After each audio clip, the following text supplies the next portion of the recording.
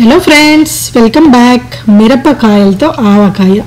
అసలే కారంగా ఉంటాయి మిర్చీలు. మళ్ళీ దాంతో ఆవకాయ ఏంటి అనుకుంటున్నారా మిర్చీలు అన్నీ కారంగా ఉండవండి. కొన్ని కారం లేని మిర్చీలు కూడా ఉంటాయి. సో ఈ మిర్చీలు చూసారంటే అసలు కారమే లేవు.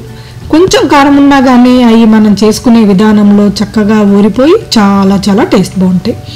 ఇలా ముక్కలు కోసేసుకొని అందులో ఒక నాలుగు స్పూన్లు ఉప్పుకి ఒక ఆరు నుంచి ఎనిమిది స్పూన్లు అది కూడా పచ్చడి కారం వాడారంటే మనకి రోజు రెగ్యులర్గా వాడే కారం కాకుండా పచ్చడి కారం మనం కొంచెం బళ్ళారి మిర్చీలతో కానీ లావు మిర్చీలతో కానీ తక్కువ కారం ఉన్న కారం కొట్టించుకుంటాము.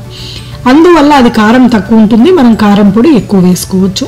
సో నాలుగు స్పూన్లు ఉప్పుకి ఆరు నుంచి ఎనిమిది స్పూన్ల వరకు కారం పొడి వేసుకోవచ్చు. అలాగే ఒక స్పూను పసుపు ఒక రెండు నిమ్మకాయలు ఈ క్వాంటిటీకి అన్నీ వేసుకొని చక్కగా బాగా కలిపేసేసుకోవాలి. మొత్తం అన్నీ కలిసేలాగా కలిపేసేసుకొని అందులోనే ఇంకా కాస్త ఆవపిండి మెంతిపిండి మనం ముందే వేయించుకొని రెడీగా పెట్టుకుంటాం కదా ఎప్పుడు?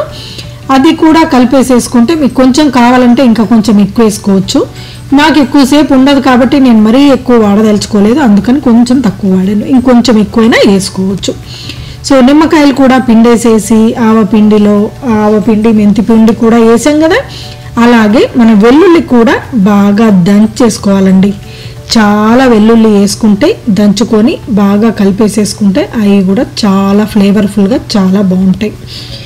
మనం ఇప్పుడు దంచుకున్న వెల్లుల్లి కూడా వేసేసుకొని అందులో అలాగే ఓ తాలింపు పెట్టుకొని ఆయిల్ వేడి చేసేసుకొని అందులో ఆవాలు జీలకర్ర కరివేపాకు మినపప్పు అన్నీ వేసుకొని తాలింపు దోరగా వేగగానే ఆ తాలింపు ఆరిపోయిన తాలింపు తీసుకొచ్చి మన పచ్చడిలో కలిపేసేసుకుంటే ఎమ్మి ఎమ్మి టేస్టీ టేస్టీ మిరప ఆపక ఆవకాయ రెడీ అయిపోయిందండి.